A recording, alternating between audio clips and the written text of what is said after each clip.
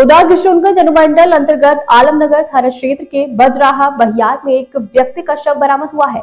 मृतक की शनाख्त कंजोरी पंचायत अंतर्गत बजराहा बस्ती वार्ड नंबर नौ, निवासी विलास पासवान का बेटा रजनीकांत पासवान के रूप में हुई है। जहाँ मृतक के चाचा मुकेश पासवान ने बताया कि शनिवार की शाम करीब छह बजे रजनीकांत पासवान घर से निकल रहा था। देर रात तक जब वो घर नहीं पहुँचा तो उसकी खोजबीन की गई, लेकिन कुछ पता नहीं चल पाया। सुबह में जब लोग खेत की ओर काम करने जा रहे थे, बहियार में उनका शव देखा गया। लोगों ने घटना की जानकारी, परिजनों को आलमनगर थाना पुलिस को दी मौके पर पहुँची पुलिस ने शव को कब्जे में लेकर पोस्टमार्टम के लिए मधेपुरा सदर अस्पताल भेज दिया। बताया गया कि मृतक रजनीकांत पासवान पंजाब में रहकर राजमिस्त्री का काम करता था, जिससे उनके परिवार का भरण पोषण होता था। कुछ माह पूर्व वो अपने गाँव आया हुआ था। मृतक को तीन बेटे और तीन बेटी हैं। वही मौत के बाद परिजनों का रो रो कर बुरा हाल है। आलमनगर थानाध्यक्ष अखिलेश कुमार ने बताया कि शव को कब्जे में लेकर पोस्टमार्टम के लिए सदर अस्पताल भेज दिया गया है। और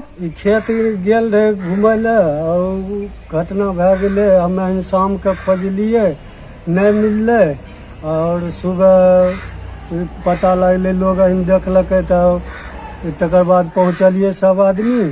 तकर बाद थाना के पारिवारिक के फ़ोन करलियै।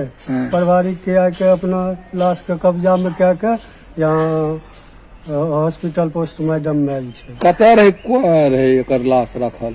रखल खेत में रहे। कोन गाँव के छियै? ना बज रहा वार्ड नंबर? नौ की नाम छियै जे मरल? हन रजनी पासवान।